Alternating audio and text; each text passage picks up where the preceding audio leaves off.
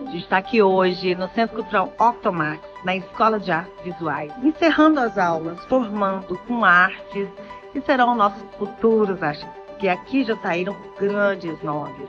Né? Então foram aulas assim da professora que trouxe convidados, que trouxe um, um, monte de referência e eu acho que o resultado está aí para todo mundo ver da Escola de Artes Visuais da Segut Goiás.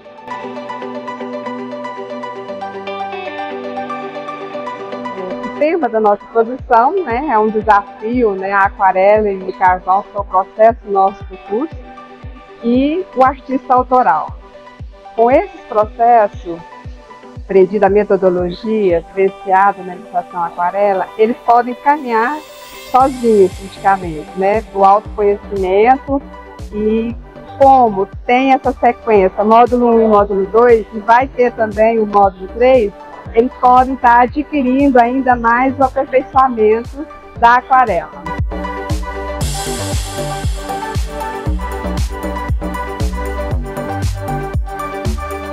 esses são os meus quadros, o resultado do curso final. O que eu gostei de fazer foi esse aqui de memória afetiva.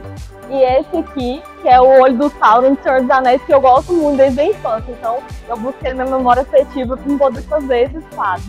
E eu gostei muito de participar. Eu me transformei, eu não sabia de algo que eu poderia expor né, em desenhos, em pinturas. Então, foi uma descoberta muito boa que eu posso estar tá transmitindo meu sentimento. Foi maravilhoso para mim e foi fantástico fazer parte desse curso de iniciação à aquarela e quero continuar a fazer.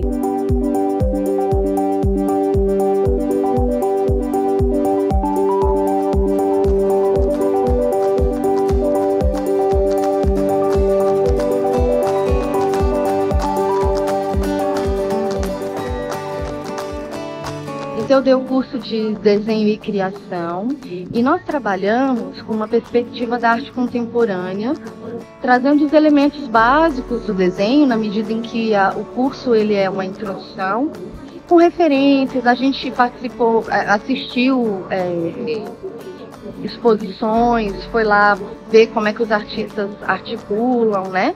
E também nós produzimos bastante aqui em sala de aula para que pudéssemos chegar a esse lugar de agora, que na verdade faz parte do processo, né?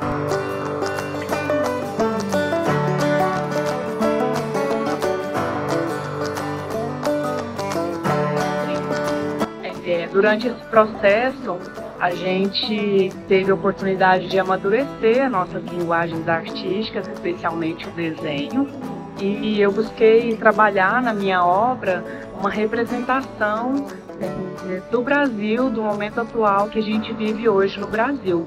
Então eu trouxe uma perspectiva de um Brasil rasgado, de um Brasil machucado, é, muito pela pandemia, mas também por questões sociais, ambientais e culturais, e procurei representar isso através de algumas linhas de cores, de texturas, fazendo uma ideia de costura para minha obra.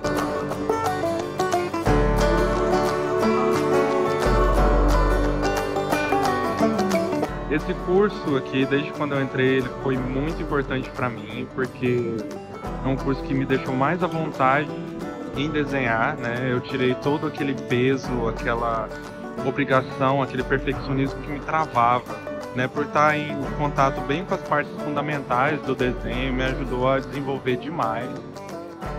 E eu estou muito feliz de expor aqui hoje minha obra, que é uma obra muito íntima minha, que chama Quarto Vazio.